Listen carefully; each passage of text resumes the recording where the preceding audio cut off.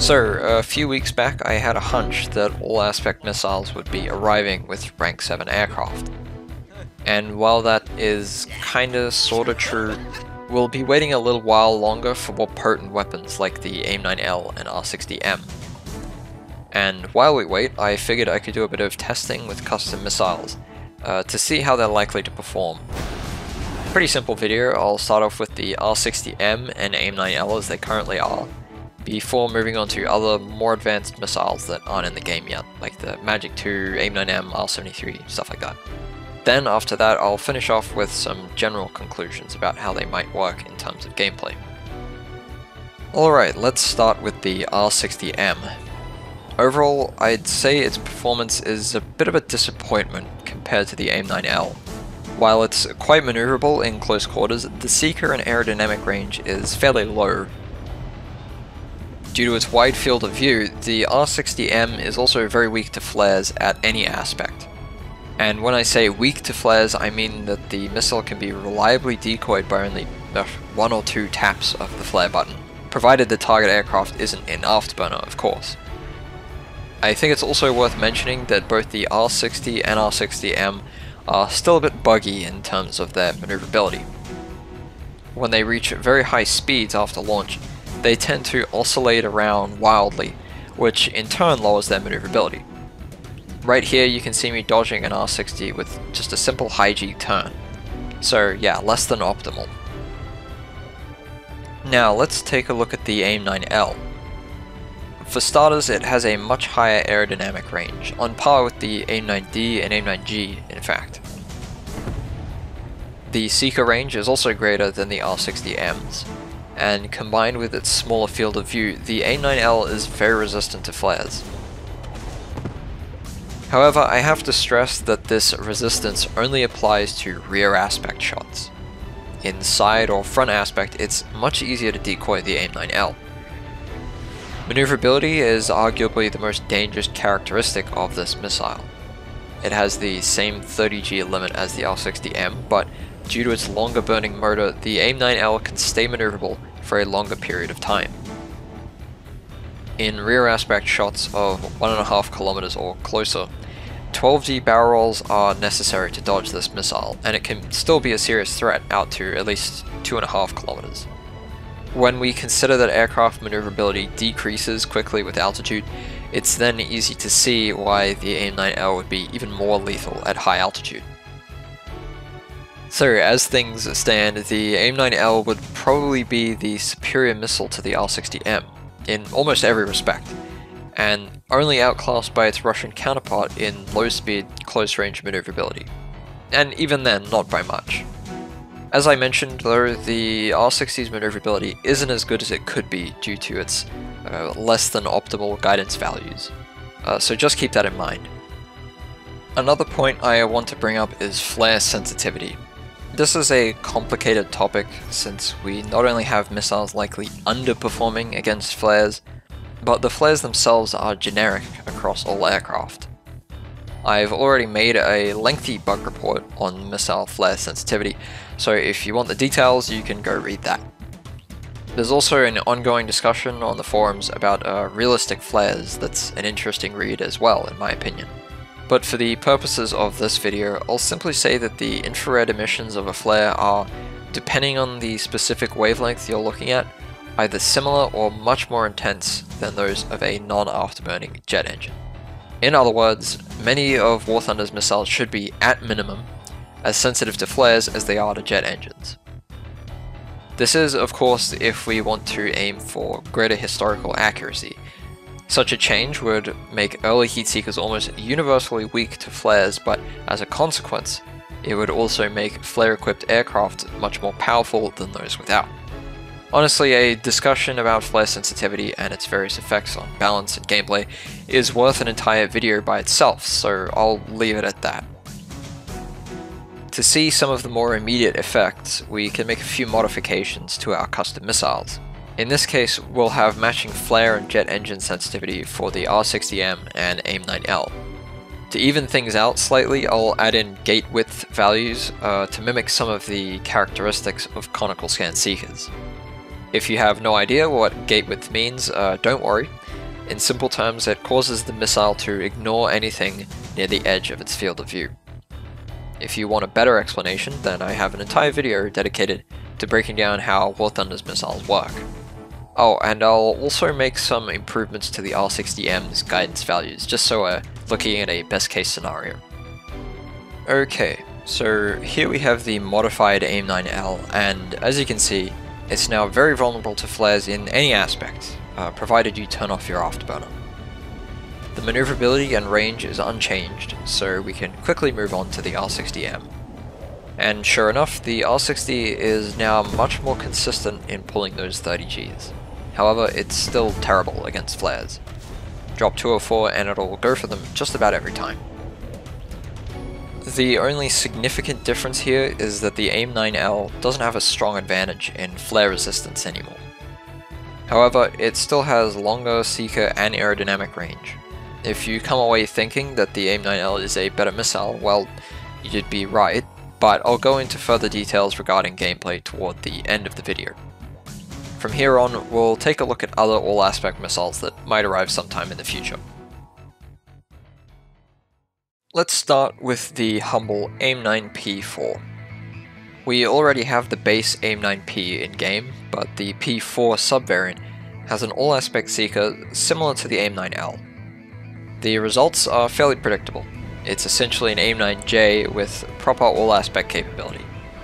In some respects, this is a better companion to the R60M than the AIM-9L, since the AIM-9P4 would have worse maneuverability greater seeker range, and similar aerodynamic range to the R60M.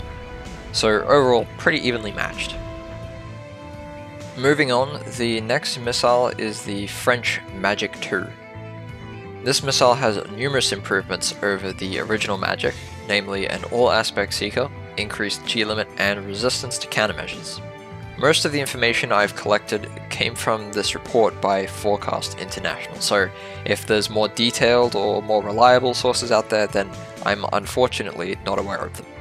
The more easily acceptable bits of information from this report are the digital signal processing and multi-element seeker, which almost certainly translates to countermeasure resistance.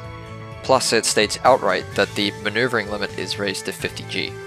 The report also mentions that the Magic 2's lock range is greater than its actual aerodynamic range, uh, but it neglects to mention under what conditions this occurs.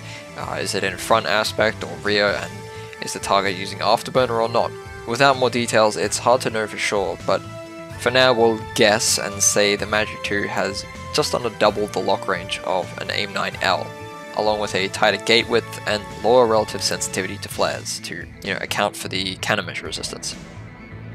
So with all of this in mind, the Magic 2 is likely to be better than the AIM-9L in every way except aerodynamic range. As you can guess, the 50G limit makes the Magic 2 simply impossible to dodge below 2 km and gives it extremely high agility. While it's still possible to decoy the missile with flares, this only works in side or front aspect shots, alongside good throttle management and multiple flares. In rear aspect shots, uh, you can degrade the Magic 2's tracking with flares, but it's not enough to defeat it. You'll have to combine high G, high speed maneuvers with a dozen or more flares in order to survive.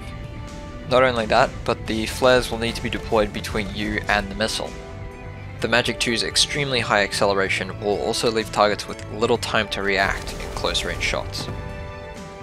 Up next is the AIM-9M. This missile is an improvement on the AIM-9L, but only in terms of its countermeasure resistance. It will still have the same aerodynamic range and maneuverability, and probably the same seeker range as well. Much like the Magic 2, its countermeasure resistance means that defeating the missile in rear aspect is very difficult but not so much in front or side aspect.